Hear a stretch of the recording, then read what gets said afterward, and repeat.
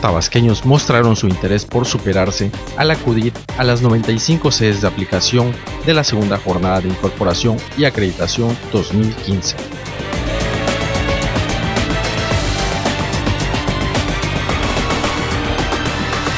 Tabasco cambia contigo.